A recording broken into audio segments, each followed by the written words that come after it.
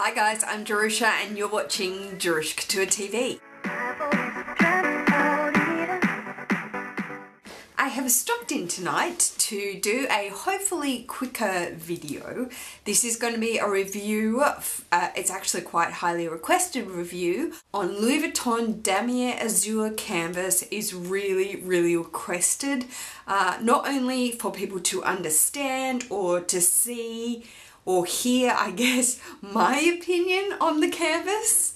Uh, but also if you've never owned the canvas before and you know maybe if it's for your lifestyle or not if you're similar to me or I'll give you other examples then this is a video for you to watch. The Damier Azur canvas, which is the grey and cream squares or bluey cream squares, a lot of people have a few different opinions on what the colours actually are, uh, was designed in 2006. It was a French Riviera kind of really influenced by the that cruising French Riviera, beautiful oceans and blues and things like that. A very fresh, clean, crisp canvas. So my collection of Damier Azur canvas, I have in total three pieces. My first ever piece of Damier Azur print or canvas was my PM agenda, six ring agenda. I picked this up in Hong Kong. It was my first piece and it was actually my first piece made in Spain. I was really excited for both items. One to be made in Spain and two to be Damier Azur canvas. I even got it hot stamped. I was so excited at the time they hot stamped it in Hong Kong. And this is my oldest piece that I have. We're going to show this one up close. But my second piece wasn't this. That I still own I guess would be this but my second piece was my Siracusa MM handbag. If you've followed me for a while you may know it. I will throw it in here. It is the only handbag in Damier Azur that I have owned uh, which I'll get around to explaining why in fact I did sell it uh, but then this would be my current second piece and that is the Damier Azur Cles. You all know the Cles with the chain. That is my second piece and my third piece is brand new and in this little dust bag. brand new because I have not used it once. It is so new that hopefully you can see the Vachetta leather up close there. It's bright white because it has never, never been outside in the sun.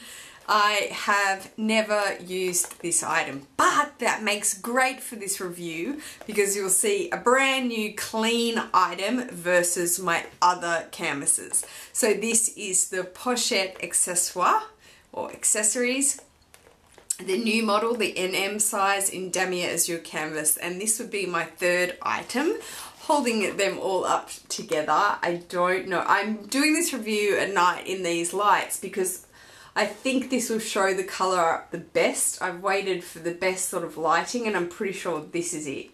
So even just holding them up there, I'm sure you can clearly see that just over time, this is four years and this is two years, I think, the Cles you can see that just genuinely the cream squares get a lot of dirt and they just discolor darker over time. Okay, so just like my multicolour collection, I'm going to bring these items up close and show you the wear and tear on them as best as I can and then give you my opinion on them. First up the agenda, hopefully you can see this, it worked with my multi-colour items. But firstly, my button has tarnished in the middle there. Not sure if it's showing up. So there's silver tarnish in the middle. That's probably on most small leather goods it can happen.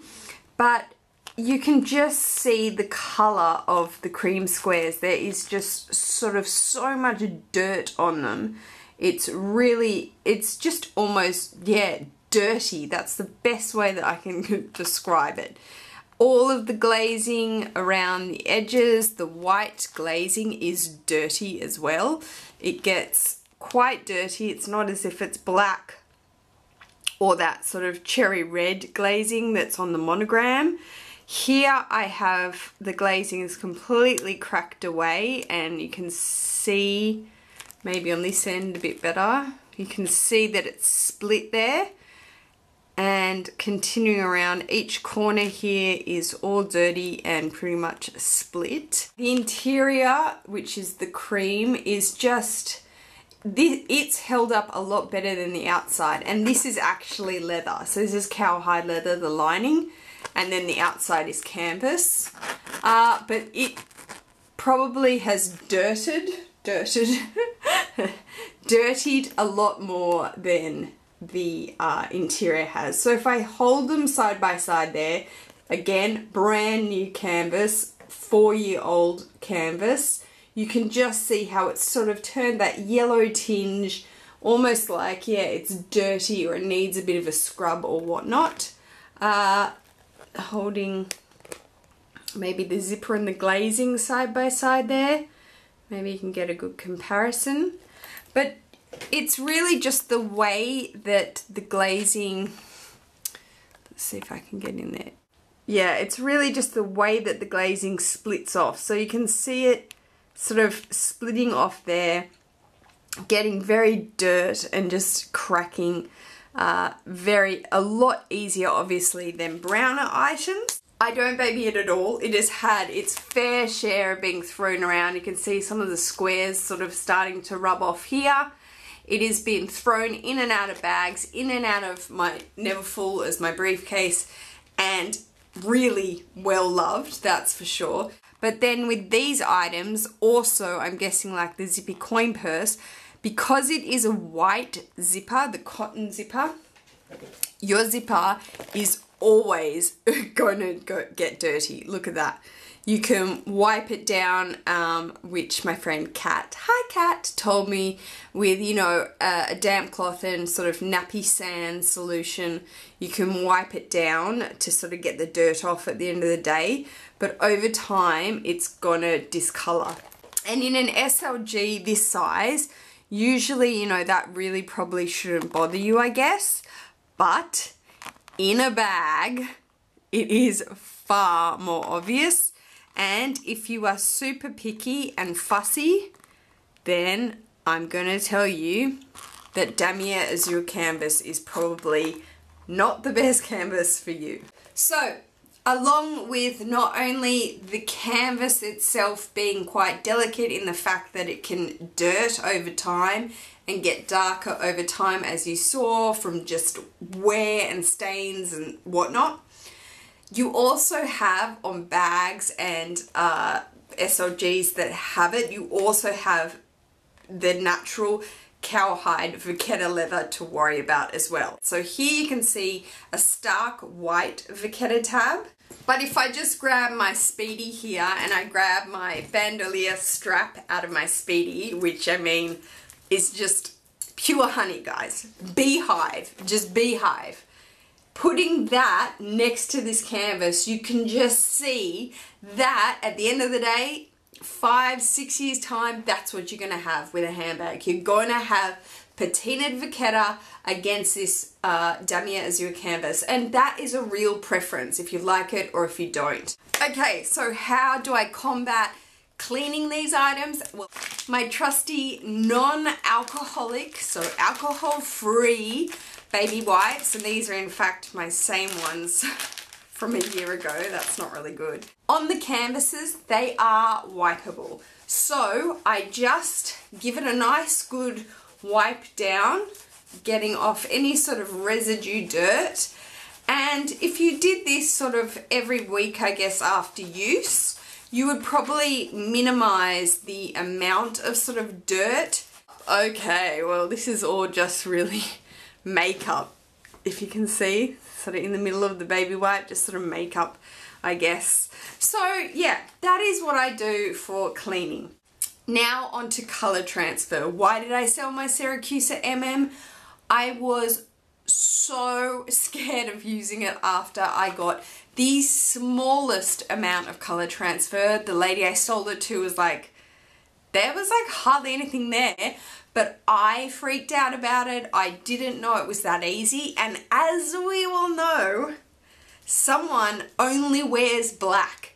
So, if you're like me and all you wear is black and you live in denim jeans or black jeans, it's safe to say Damier Azur handbags are probably not the best for you because sitting on your hip and rubbing back and forward, it is gonna get color transfer. But as far as a bag goes, or a pochette accessoire NM,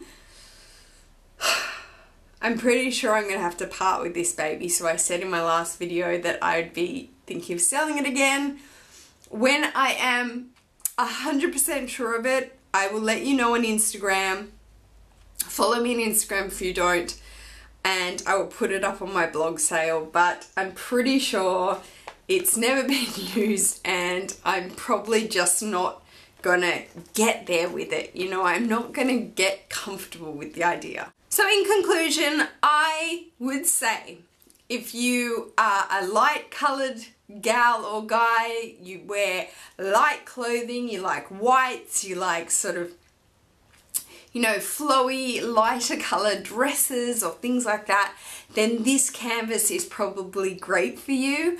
Uh, if you are a more of sort of a not seasonal bag person, meaning you don't want to just have a bag only for summer, then maybe it's not for you because it's not the best canvas to run through the rain or you know run through dark cloudy days where it could rain.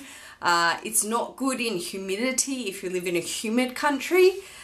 And yeah as much as it is a beautiful pretty canvas I will probably always stick to SLGs if you're gonna think why did I get this then it was because, well, I really wanted to see if I could do it again. After selling the Siracusa, so I just wanted to see if I could do it again in a small sort of pochette handbags, uh, clutch handbag size. And, well, the answer is I can't. We are probably definitely going to sell that, but SLGs for me in Damier Azur are definitely the answer.